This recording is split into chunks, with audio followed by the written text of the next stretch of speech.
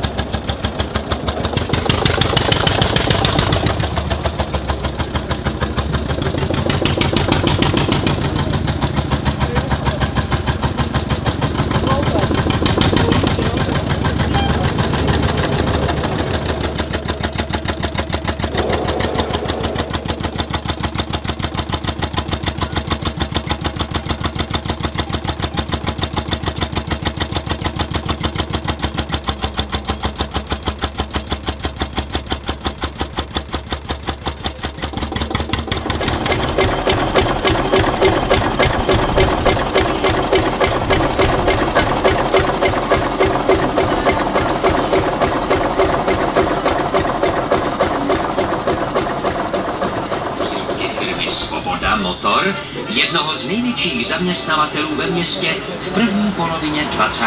století. Traktor, stojáky, firmy Svoboda a ceduli Svoboda. Václava Svobody a jejich přátelé z klubu Svoboda Traktor svou účastí v průvodu a především pak uspořádáním výstavy dokumentů a výrobků továrny Svoboda Motor v areálu penzionu Kosmos připomněli dnes téměř zapomenutou legendu města zakladatele firmy pana Václava Svobodu. Hlavními, tak říkajíc, hvězdami byly především